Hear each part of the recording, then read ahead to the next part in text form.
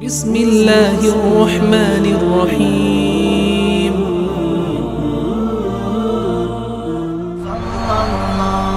صلى الله صلى الله صلى الله صلى الله صلى الله الحمد لله رب العالمين. والصلاة والسلام على أشرف الأنبياء والمرسلين محمد وعلى آله وأصحابه وأزواجه وأهل بيته وذرياته أجمعين. أما بعد فأعوذ بالله من الشيطان الرجيم. بسم الله الرحمن الرحيم. ولقد آتينا داود وسليمان علما وقال الحمد لله الذي فضلنا على كثير من عباده المؤمنين. وورث سليمان داود وقال يا أيها الناس علمنا. علمنا منطق الطير وأوتينا من كل شيء. إن هذا لهو الفضل المبين. وحشر لسليمان جنوده من الجن والإنس والطير فهم يوزعون. حتى إذا أتوا على واد النمل قالت نملة قالت نملة يا أيها النمل ادخلوا مساكنكم. لا يحطمنكم سليمان وجنوده وهم لا يشعرون. وقال تعالى ونريد أن نمن على الذين استضعفوا في الأرض ونجعلهم ونجعلهم أئمة ونجعلهم الوارثين. وقال تعالى وأوحينا إلى أم موسى أن أرضعيه. فإذا خفت عليه فألقيه في اليم ولا تخافي ولا تحزني إنا رادوه إليك وجعلوه من المرسلين. وقال تعالى إن قارون كان من قوم موسى فبغى عليهم وآتيناه من الكنوز ما إن مفاتحه ما إن مفاتحه لتنوء بالعصبة أولي القوة إذ قال له قومه لا تفرح إن الله لا يحب الفرحين. صدق الله العلي العظيم. وصدق رسوله النبي الكريم. ونحن على ذلك لمن الشاهدين والشاكرين. والحمد لله رب العالمين. بزرگان محترم، میرے نوجوان بھائیوں کلام حضرات نے قرآن مجید کے بیسویں پارے سورت النمل اور سورت القصص کو سماعت فرمایا۔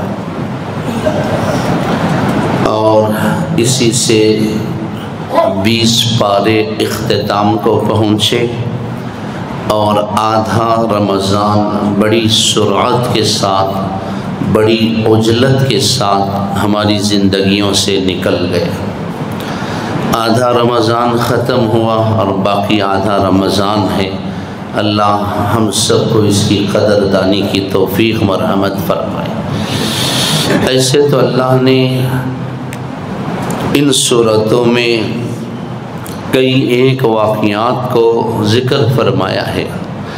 بطور خاص جو آیتیں میں نے پڑھی ہیں، اللہ تعالیٰ نے اس میں تاریخ دنیا بلکہ تاریخ کائنات میں اللہ نے چار انسانوں کو ایسی بادشاہت عطا فرمائی تھی کہ نہ ان سے پہلے کسی کو اللہ نے ایسی بادشاہت اور حکومت عطا فرمائی اور نہ قیامت تک کوئی ان جیسا بادشاہ پھر سے پیدا ہوگا۔ چار بادشاہ، ان میں سے دو مسلمان ہیں اور دو کافر ہیں۔ اور حضرت سلیمان علیہ السلاۃ والسلام کا شمار بھی انہی چار بادشاہوں میں سب سے اول نمبر پر۔ اللہ تعالیٰ نے سلیمان علیہ السلاۃ والسلام کو، نہ صرف انسانوں پر، جنات پر، پرندوں پر، سمندر کے پانی پر اللہ نے حکومت عطا فرمائی تھی۔ اور یہ حکومت چار سال، آٹھ سال کی نہیں، اور یہ الیکشن سے یا کسی اور ذریعے سے یہ حکومت قائم نہیں ہوئی۔ لکھا ہے حضرات مفسرین نے۔ حضرت سلیمان علیہ السلام کی یہ حکومت سات سو سال چھ مہینے تک رہی۔ سات سو سال چھ مہینے۔ اللہ نے ایسی بادشاہت عطا فرمائی کہ یہ پرندوں پر بھی حکم چلاتے تھے۔ سمندر کی تہ میں تیرنے والی مچھلیاں ان کے حکم کی پابند تھیں۔ غرض لکھا ہے حضرات مفسرین نے کہ اللہ تعالیٰ نے حضرت سلیمان علیہ السلاۃ والسلام کے سامنے حکومت اور علم دو چیزوں کو پیش فرمایا کہ ان میں سے کسی ایک کا انتخاب کر لو۔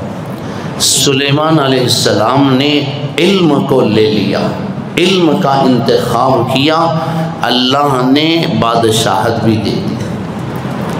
بچوں کو پڑھاؤ، علم دو، وہ وقت کے بادشاہ بنیں گے انشاءاللہ۔ چنانچہ حضرت سلیمان علیہ السلام جیسا بادشاہ اتنی عظیم سلطنت رکھنے والا اور اتنی بڑی بادشاہت رکھنے والا انسان بھی اللہ کے حکم کا، اللہ کی مدد کا محتاج ہے۔ اتنا بڑا بادشاہ بھی کچھ نہیں کر سکتا، عاجز ہے۔ لکھا ہے حضرات مفسرین نے کہ حضرت سلیمان علیہ السلام والسلام کے دور حکومت میں قحط سالی آ گئی۔ پانی کی تکلیف ہوئی۔ حضرت سلیمان علیہ السلام تمام مخلوقات کو جمع کرتے ہیں۔ ایک طرف انسان اور دوسری جانب سنات اور پرندے، جانور۔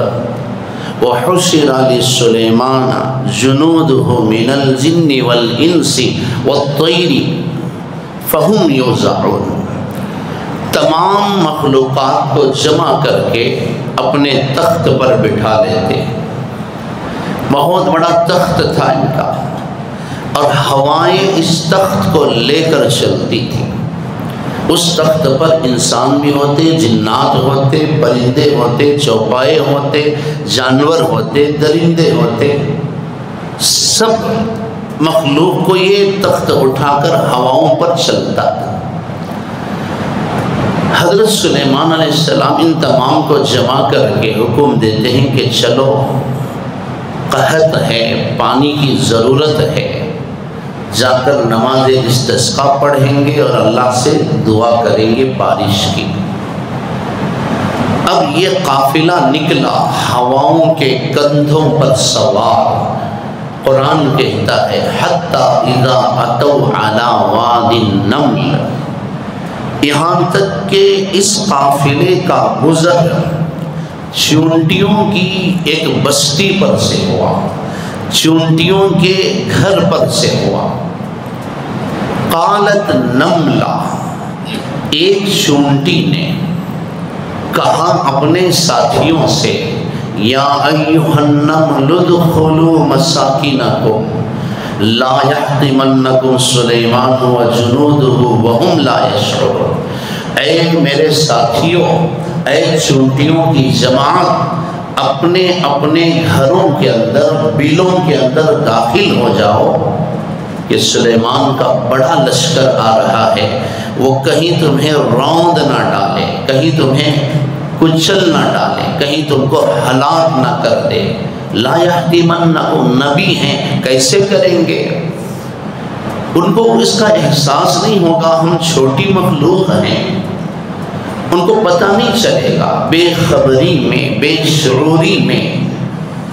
وہ لوگ ہمیں روند کر چلے جائیں گے۔ ادخلو مساکینکم، تم اپنے گھروں کے اندر داخل ہو جاؤ۔ فتبسم ضاحکا من قولها ہواؤں نے چونٹی کی اس بات کو حضرت سلیمان علیہ السلام کے کانوں تک پہنچایا۔ کیونکہ منطق الطیر و اوتینا من کل شیء۔ اللہ تعالیٰ نے حضرت سلیمان علیہ السلام کو پرندوں کی بولی سکھائی تھی، وہ بولتے بھی تھے اور سنتے بھی تھے۔ چنانچہ چونٹی کی یہ آواز حضرت سلیمان علیہ السلام کے کانوں میں پڑی۔ فتح فتبسم ضاحکا من قولها چونٹی کی اس بات کو سن کر سلیمان علیہ السلام ہنسنے لگے، مسکرانے لگے اور اللہ کا شکر ادا کیا کہ اللہ، تیرا شکر ہے کہ تو نے مجھ باپ بیٹے کو یعنی آپ داود علیہ السلام کے بیٹے تھے، اللہ نے ان کو بھی بادشاہ بنایا تھا۔ اللہ، یہ فضیلت دی اللہ، یہ تیرا شکر ہے۔ بہرحال تفصیل میں نہیں جاؤں گا، یہ چونٹی کیا کر رہی تھی؟ حضرات مفسرین لکھتے ہیں، حضرت سلیمان علیہ السلام نکلے تھے بارش کی دعا کرنے کے لیے۔ دیکھتے ہیں حضرت سلیمان علیہ السلام کہ یہ چونٹی پیٹ کے بل لیٹ کر اپنا چہرہ آسمان کی طرف کیے ہوئے ہے اور اپنے ہاتھوں کو اس کے جو چھوٹے چھوٹے ناقابل دید اس کے پیر ہوتے ہیں، اسے ہلاتے ہوئے چونٹی الٹی لیٹ کر اللہ سے دعا کرتی ہے اللہ ہم بھی تیری مخلوق ہیں۔ ساری مخلوق پانی کے لیے پریشان ہے۔ اللہ، اپنی قدرت سے بارش کو نازل فرما۔ اللہ پانی دے دے ورنہ ہم ہلاک ہو جائیں گے۔ حضرت سلیمان علیہ السلام چونٹی کی اس دعا کو سنتے ہیں اور لشکر کو حکم دیتے ہیں کہ چلو واپس چلتے ہیں۔ اب نماز استسقا پڑھنے اور دعا کرنے کی کوئی ضرورت نہیں۔ اللہ ایک معمولی اور چھوٹی سی مخلوق کی دعا سے اللہ تم کو بارش عطا کرے گا۔ تمہارا مسئلہ حل ہو گیا۔ وہ کسی نبی کی دعا سے نہیں، ایک چھوٹی سی مخلوق چونٹی کی دعا سے اللہ تعالیٰ نے تمہاری اس پریشانی کو دور کر دیا۔ چلو، اب پانی کا انتظام ہو جائے گا۔ دعا کیجیے کہ اللہ تعالیٰ آج بھی کسی چونٹی کو پیدا کرے جو بنگلور کے اس مسئلے کو حل کرے۔ سارے بور ویل رہے ہیں۔ اور سارے لوگ پانی سے پریشان ہیں۔ اللہ اس نسل کی کوئی چونٹی ضرور ہوگی۔ اللہ اس کی دعا کی برکت سے ہمارے اس مسئلے کو بھی حل کرے۔ ورنہ ہم انسانوں کے اعمال آج ایسے نہیں ہیں کہ اللہ ہم پر بارش کا نظام چلائے۔ اللہ ہم سب کی بخشش فرمائے۔ بہرحال چونٹی کی دعا سے اللہ نے بارش کا انتظام کیا۔ دوسری بات یہاں جو حضرات مفسرین کرام نے لکھی ہے کہ دیکھو، چونٹی کو بھی اپنے ہم جنس اور اپنے ساتھیوں کا احساس ہے اور ان کے ساتھ ہمدردی ہے۔ چونٹی بھی اپنی جیسی مخلوق کے ساتھ ہمدردی رکھتی ہے۔ اس کے دکھ درد کا ان کو احساس ہوتا ہے۔ آج ہم انسانوں کو اس کا احساس نہیں ہے۔ چونٹی اپنے ساتھیوں سے کہتی ہے، ادخلو مساکینکم کہ بلوں کے اندر داخل ہو جاؤ، کہیں تم ہلاک نہ ہو جاؤ۔ میرے محترم بھائیوں، اللہ نے چونٹی کی اس خیر خواہی کی وجہ سے قرآن مجید کی اس صورت کو چونٹی کے نام سے منسوخ کر دیا۔ نام ہی صورت النمل، چونٹیوں والی صورت۔ اللہ تعالیٰ نے اسے یہ فضیلت عطا فرمائی۔ آگے میں نے ایک اور آیت پڑھی۔ ان فرعون علا فی الارض وجعل اهلها شيعا يستضعف طائفة منهم، يذبح ابناءهم ويستحيي نساءهم انه كان من المفسدين۔ اے میرے حبیب صلی اللہ علیہ وسلم، آپ اپنی امت کو فرعون کا قصہ سنائیے۔ نتلو علیہ کا من نبئی موسیٰ و فرعون موسیٰ اور فرعون کی داستان اور کہانی سنائیے۔ اللہ نے اس ظالم کو حکومت عطا فرمائی تھی۔ بجائے یہ کہ یہ بادشاہ بن کر عدل و انصاف کے ساتھ حکومت کرتا، اس نے پورے ملک کے انسانوں کو دو حصوں میں تقسیم کر دیا۔ وَجَعَلَ أَهْلَهَا شِيعًا يَسْتَضْعِفُ طَائِفًا ان میں سے ایک طبقے کو، ایک جماعت کو اس نے بہت کمزور کر دیا، ذلیل کر دیا۔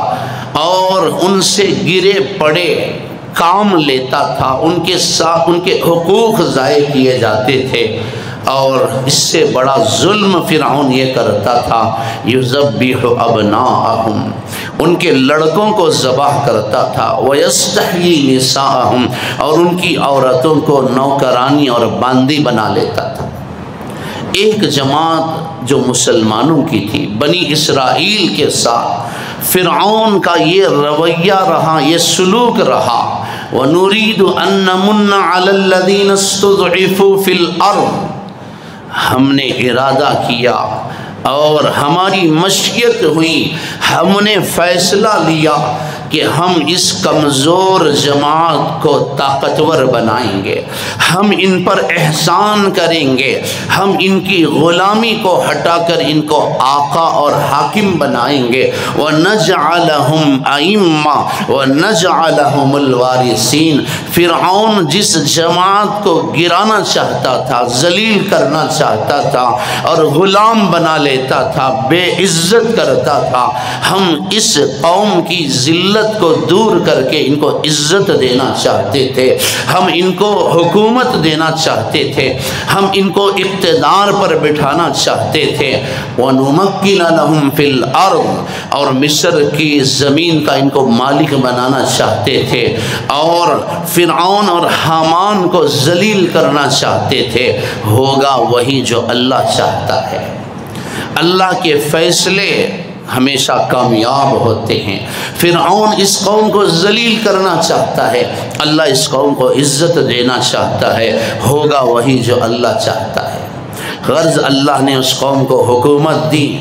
میں اس تفصیل میں نہیں جاؤں گا۔ چنانچہ فرعون نے حکومت اور اقتدار کے لیے ایسا کھیل کھیلا۔ آج بھی، آج کے فرعون بھی اسی کے نقش قدم پر چلتے ہیں۔ میں اس تفصیل میں نہیں جاؤں گا۔ چنانچہ فرعون نے ایک خواب دیکھا کہ بیت المقدس سے ایک آگ نکلی ہے۔ اس نے سارے مصر کو اپنے احاطے میں، قبضے میں لے لیا۔ اس آگ نے مصر کو جلا دیا ہے۔ اس نے کاہنوں کو بلایا، فال دیکھنے والوں کو۔ اس نے جمع کیا۔ اور اپنے خواب کا ذکر کیا، یہ کیا قصہ ہے؟ ان لوگوں نے بتایا کہ آپ کا یہ خواب بتاتا ہے کہ انقریب ایک بچہ پیدا ہوگا، جس بچے کے ذریعے سے آپ کی حکومت کا خاتمہ ہو جائے گا۔ اللہ آپ کی بادشاہت کو ختم کر دیں گے۔ اب اس ظالم نے کیا کیا؟ اس نے آرڈر جاری کر دیا۔ جو ضب بھی ہو کہ آج کے بعد سے بنی اسرائیل کے ہر بچے کو ذبح کر دیا جائے۔ جیسے ہی بچہ پیدا ہو، اسے اس کے گلے کو کاٹ دیا جائے۔ ایک بہت بڑی فوج جماعت فرعون نے اس کام کے لیے لگا دیا۔ لکھا ہے حضرات مفسرین نے، حکومت بچانے کے لیے، اقتدار بچانے کے لیے۔ فرعون نے سو، دو سو، پانچ سو نہیں، ستر ہزار بچوں کو ذبح کر دیا۔ ستر ہزار بچوں کو اس نے مار دیا۔ اب نوکروں کو تشویش ہوئی، آ کر کہنے لگے، بادشاہ، اگر مردوں کو مارا جاتا رہے، عورتوں کو چھوڑ دیا جائے تو جو کام بنی اسرائیل سے ہم گرے پڑے لیتے ہیں، لکڑیاں کاٹ کر لانا، بیت الخلاء کی صفائی، جھاڑو دینا، باقی صفائی کرنا، پھر مشکل ہو جائے گی۔ تو فرعون کو بھی احساس اس نے ایسا کرو، ایک سال چھوڑ دو، ایک سال ذبح کرو۔ اللہ کی قدرت دیکھی ہے، جس سال بچوں کو چھوڑا گیا، موسیٰ علیہ السلام کی پیدائش اس سال نہیں ہوئی۔ جس سال فرعون نے ذبح بچوں کو ذبح کرنے کا حکم دیا تھا، موسیٰ علیہ السلام کی پیدائش ہوئی، بچہ پیدا ہوا۔ ماں سر پہ ہاتھ رکھ کر بیٹھی ہے۔ ہائے اللہ، میں کیا کروں؟ اب میرے بچے کو ذبح کر دیں گے۔ اب میرے بچے کو مار دیا جائے گا۔ وَأَوْحَيْنَا إِلَىٰ أُمِّ مُوسَىٰ أَنْ أَرْضِعِي ہم نے موسیٰ کی ماں کو اس کے دل میں بات ڈالی، اس کی طرف وہی بھیجی، ان ارضعی، کہ اے ام موسیٰ، دریا نیل کے کنارے بیٹھ کر بچے کو دودھ پلاتی رہے۔ اور جب فرعونی کارندوں اور درندوں کا تجھے خوف اور خطرہ ہو محسوس ہونے لگے، تو ایسا کر، اپنے اس دودھ پیتے بچے کو صندوق میں ڈال دے۔ اور اس صندوق کو تو دریا فرات، دریا نیل کی موجوں کے حوالے کر دے۔ اب انسانی عقل سوچے گی کس طرح بچہ ڈوب جائے گا، بچہ مر جائے گا۔ دریا کی یہ خوفناک موجیں، یہاں بچہ کیسے زندہ رہ سکتا ہے؟ وَأَوْحَيْنَا إِلَىٰ أُمِّ مُوسَىٰ أَنْ أَرْضِعِي فَإِذَا خِفْتِ عَلَيْهِ فَأَلْقِيهِ فِي الْيَمِّ۔ بچے کو صندوق میں ڈال دے اور دریا میں چھوڑ دے وَلَا تَخَافِي وَلَا تَحْزَنِي۔ ڈرنا نہیں، فکر نہیں کرنا، غم نہ کرنا۔ اِنَّا رَادُوهُ إِلَيْهِ وَجَعِلُوهُ مِنَ الْمُرْسَلِينَ۔ ہم وعدہ کرتے ہیں کہ تیرے بچے کو پھر دوبارہ تیرے گھر تک پہنچائیں گے۔ تیرے بچے کو ڈوبنے نہیں دیں گے۔ اور ہم وعدہ کرتے ہیں، سن لے اے ام موسیٰ، آج تیرا بچہ جا رہا ہے، واپس آئے گا تو نبی بن کر آئے گا۔ اس بچے کو ہم نبی بنانا چاہتے ہیں۔ اللہ حکم کیوں دیتا ہے؟ اللہ یہ چیلنج کرنا چاہتا ہے۔ فرعون اس بچے کو مارنا چاہتا ہے۔ فرعون اس بچے کو ذبح کرنا چاہتا ہے۔ اسی بچے کے لیے اس نے ستر ہزار بچوں کو مارا۔ یہی وہ بچہ ہے جو فرعون کی سلطنت اور حکومت کے خاتمے کا ذریعہ سبب سامان بنے گا۔ فرعون اسی بچے کی تلاش میں ہے۔ ہم چاہتے ہیں کہ قاتل کے گود میں بٹھا کر اس بچے کی پرورش کریں۔ جس بچے کی تلاش میں فرعون ہے، ہم اس بچے کو اس کے محل کے اندر نہیں، اس کی گود میں بٹھا کر پالنا چاہتے ہیں۔ دیکھتا ہوں فرعون اس بچے کو مارتا کیسے ہے۔ فرعون اسے مارنا چاہتا ہے۔ میں اسے فرعون کی گود میں بٹھا کر پالنا چاہتا ہوں۔ صندوق آیا دریا کی موجوں سے، لڑکتا ہوا، پلٹتا ہوا اور دھکے کھاتا ہوا اور سیدھے فرعون کے محل کے اندر جو نہر چلتی تھی، وہاں سے آ کر فرعون بی بی آسیہ کے ساتھ بیٹھ کر تخلیہ کر رہا تھا، باتیں کر رہا تھا، دور سے نظر آیا کہ ایک صندوق آتا ہے۔ اس نے نوکروں کو بھیجا، صندوق لا کر دیکھا گیا تو بڑا خوبصورت بچہ ہے۔ اس نے فوراً نوکروں کو بلایا کہ اس بچے کو ذبح کر۔ اللہ تعالیٰ نے آسیہ کے دل میں بچے کی محبت ڈال دی۔ جیسے ہی آسیہ نے بچے کو دیکھا فرعون سے کہنے لگی، لا تقتلوه عسى ان ينفعنا او نتخذه ولدا وهم لا يشعرون. کہ اے میرے سرتاج اس بچے کو نہ مارے۔ یہ بچہ ہدیے اور تحفے کے طور پر آپ مجھے دے دیں بڑا خوبصورت بچہ ہے۔ بہت ممکن ہے کہ یہ بچہ آئندہ چل کر ہمیں نفع پہنچائے۔ ایسے بھی ہمیں اولاد نہیں ہے، بیٹا نہیں ہے۔ اس بچے کو ہم بیٹا بنا لیتے ہیں۔ بہت ممکن ہے کہ یہ بچہ آئندہ چل کر ہماری آنکھوں کی ٹھنڈک بنے گا۔ فرعون نے کہا نہیں نہیں، یہ بچہ تیری آنکھوں کی ٹھنڈک تو بن سکتا ہے میری آنکھوں کی نہیں۔ چل تیری محبت میں میں اس بچے کو چھوڑ دیتا ہوں اور تجھے اس کے حوالے، اور اس بچے کو تیرے حوالے کر دیتا۔ اللہ کا یہ غیبی نظام تھا۔ اللہ قاتل کے گھر میں بیٹھا کر بچے کو پروان چڑھاتا ہے۔ جس بچے کو فرعون مارنا چاہتا ہے، بچہ کسی کا دودھ نہیں پیتا۔ فرعون بہت پریشان ہے۔ مصر کی ساری عورتوں کو جمع کرتا ہے۔ کسی عورت کے دودھ کو یہ بچہ قبول کر لے۔ جس بچے کو مارنا چاہتا تھا، اسی بچی، بچے کے روزی کا اسے فکر مند بنا دیا۔ یہ اللہ کی قدرت ہے، یہ اللہ کی شان ہے۔ اللہ کی قدرت پر ایمان لاؤ۔ جب اللہ کے فیصلے ہو جاتے ہیں تو حکومت کے عہدوں پر بیٹھنے والے حاکم کے ارادے کامیاب نہیں ہوتے۔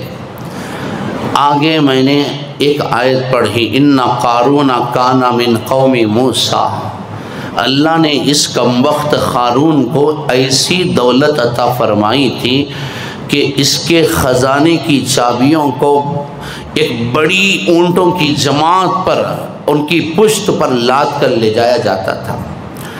بہرحال ایسا مالدار دنیا کے اندر پیدا نہیں ہوا، نہ آئندہ پیدا ہوگا۔ حضرت موسیٰ علیہ السلام نے اسے نصیحت فرمائی، ولا تنسب نصیبك من الدنيا واحسن كما احسن الله اليك ولا تبغي الفساد في الارض اے قانون، اللہ نے جو مال دیا ہے، اس پر تکبر نہ کر، گھمنڈ نہ کر، غرور نہ کر۔ ان میں سے اللہ کے بندوں کا حق ادا کر، اس مال کا، اس مال میں جو غریبوں کا حصہ ہے، ان کا حق ہے، ان کو دے دے، مال کی زکوٰۃ دے دے۔ اس نے کہا کہ نہیں، میں کیوں دوں؟ مجھے یہ مال اللہ نے نہیں۔ اعلیٰ انما اوتی تو ہو علم عندی۔ اس مال کو میں نے اپنی چالاکی اپنی ذہانت سے کمایا ہے۔ یہ مال میری محنت کا مال ہے، میں کیوں دوں؟ اس نے انکار کیا۔ اللہ تعالیٰ نے کیا کیا؟ فخر جعلا قومی فی زینتی قال الذین یریدون الحیات الدنیا یا لیت لنا مثل ما اوتیا قارون۔ ایک دن بڑی شان و شوکت کے ساتھ، بڑے دبدبے کے ساتھ، بڑے غرور کے ساتھ، بڑے تکبر کے ساتھ شاہانہ لباس پہن کر اور اپنے خادمہ اور نوکروں کے کی ایک بڑی جماعت کے ساتھ، بڑی شان و شوکت کے ساتھ قارون اپنے مال کی نمائش کرتے ہوئے محل سے نکلتا ہے۔ دنیا دار لوگ دیکھتے ہیں اور کہتے ہیں، کاش ہم کو بھی قارون کے جیسا مال ملتا۔ وقال الذین اوت العلم۔ اللہ نے جن کو علم دیا تھا، انہوں نے کہا، ویلکم ثواب اللہ خیر لمن آمن وعمل صالحا۔ تمہارا ستیہ ناس ہو۔ کس دولت کو دیکھ کر تم افسوس کرتے ہو؟ اللہ نے جو ایمان، جو علم تم کو دیا ہے، یہ اس سے بہتر ہے۔ فخصفنا به وبداره الارض۔ اللہ نے اس کے مال کے سمیت اسے زمین میں دھسا دیا۔ فما كان له من فئه ينصرونه من دون الله وما كان من المنتصرين۔ اللہ کے علاوہ کوئی اسے بچانے والا نہیں تھا۔ قرآن کی یہ آیتیں، یہ دو واقعات یہ پیغام دیتی ہیں کہ جب میں کسی کو مارنے کا، تباہ کرنے کا، برباد کرنے کا، ذلیل کرنے کا، ناکام کرنے کا کا ارادہ کر لیتا ہوں تو فرعون کی حکومت اسے نہیں بچا سکتی اور قارون کی دولت اسے میرے عذاب سے نہیں بچا سکتی۔ اے میرے حبیب کی امت، ان واقعات سے عبرت حاصل کرو اور نیک عمل کرنے کی کوشش کرو۔ اللہ تعالی ہم تمام کو ان واقعات سے عبرت نصیب فرمائے، حسن عمل کی توفیق، مرحمت فرمائے، وآخر آخر دعوانا الحمد للہ رب العالمین۔